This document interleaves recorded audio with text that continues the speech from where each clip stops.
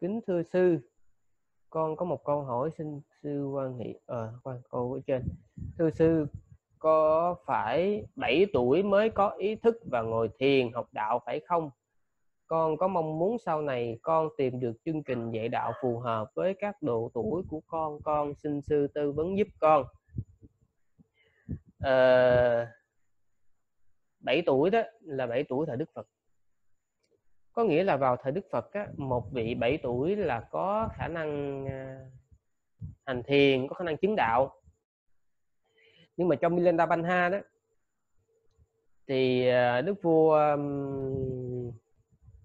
Milinda đó nói là cái chuyện đó chỉ có thời Đức Phật thôi chứ còn thời nay một con nít nó 7 tuổi thì nó nó không đủ trí tuệ nữa.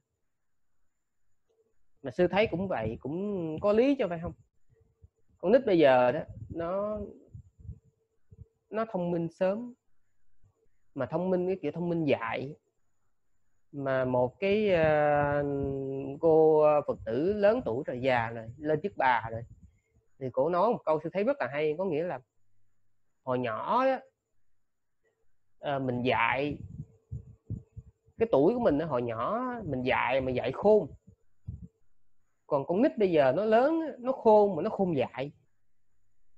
Thì sư thấy cái câu nói đó rất là hay.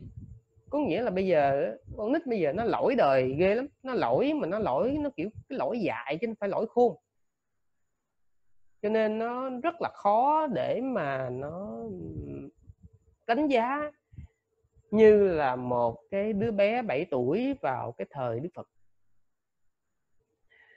Ờ, hôm ờ, vừa rồi đó có một uh, có một cô uh, vào chùa vào cái hôm sám hối đó.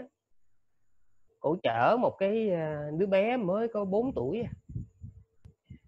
à, nhóc nhóc nhỏ bụ bẩm mà cạo đầu cạo cạo nhẵn luôn cạo đầu mặc cái bộ đồ lam.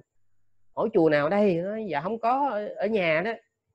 Trời ơi, mình nhìn mà thương muốn chết luôn cái gì thương ghê lắm. Nhưng mà mình biết thương á, là mình thương do mình nhìn ở ngoài mình chưa có nuôi nó thôi mình thấy thương. Chứ nuôi nó đi rồi mới biết cực nó cực chừng ai luôn chứ không phải chuyện chơi. Bây giờ á, những cái vị mà nhận con nít á, sư phải nói là con nít bây giờ á, nó không có giống con nít hồi xưa. Mà nói nó hơi ác mồm tí xíu nó phá ghê lắm mà phải khâm nhẫn mà phải nói là lúc đó là cái chùa nó thành cái nhà trẻ là nó không còn tu hành gì được hết trơn á. Cho nên có ý thức ngồi thiền thì có ý thức ngồi thiền thì đúng như vậy đó. Nhưng mà mình không thể lấy cái, cái tâm lý của một cái đứa bé 7 tuổi hồi xưa hồi xưa mà so với đứa bé 7 tuổi bây giờ được cái trơn á trời. Đó. Rồi sau này mà muốn có cái phương chương trình mà dạy đạo phù hợp với độ tuổi của con á thì phải nói là nếu như mà sư á thì quý vị phải đảm bảo một cái chuyện như vậy trước. Sư chỉ dạy sư không có nuôi. Và nhà chùa chỉ dạy chứ không có nuôi. Dạy đó có nghĩa là một ngày mấy tiếng đồng hồ đó, dạy thôi, y như là tới trường vậy đó, gửi tới trường dạy mấy tiếng đồng hồ về thì được. Chứ đừng bao giờ mà gửi con nít vô chùa, nuôi không nổi. Nít bây giờ nó phá quá, nuôi không nổi. Nít hồi xưa thì nói thiệt chứ nó phá nó bắt nó quỳ nó khóc nó vừa khóc nó vừa quỳ. Còn bây giờ mà bắt nó quỳ á nó nhảy đành đập rồi bắt đầu là má kêu má nó tới rồi bắt đầu là kêu nhà báo tới bắt đầu lên mạng xã hội um sùm hết trơn nó không phải như hồi xưa. Rồi à, thứ nhất chỉ có nuôi chứ không có dạy. Ê, chỉ có dạy chứ không có nuôi. Cái thứ hai đó là phải ba má đi kèm. Để chi? Cái lúc mà nó dễ chứng á lúc giải chứng ba má xử, đem ra chỗ khác, khuất mắt. Rồi muốn xử sao có xử? Lúc nó ngoan thì ở đây thì dạy, còn lúc nó hư rồi là ba má đem đi. Chứ còn trời lúc đó mà đi dạy tụi nó mà bắt đầu nó dãy đành đạch, rồi nó mè nheo, rồi nó khóc, nó la, nó um sùm củ tỏi thì đừng. Lúc đó là chánh niệm là coi như là sư chỉ có chạy, lo phần sư thôi, chứ còn không có cách chi mà dạy tụi nó nổi. Cho nên con nít bây giờ nó không giống con nít hồi xưa các cái chương trình á, mà dạy đạo mà phù hợp cho độ tuổi con nít á, cũng có chứ không phải không nhưng mà nó cực lắm sư nói là cực lắm cực ghê hồn.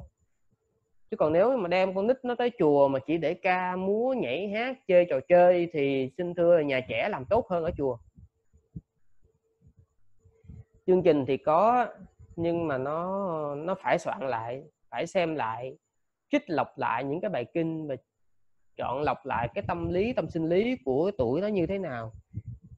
Và có lẽ nếu như mà có có lẽ mà có mà có cái chương trình đó thì chỉ dành cho từng nhóm từng nhóm ít thôi. Có nghĩa là từng nhóm năm, bảy đứa vậy đó.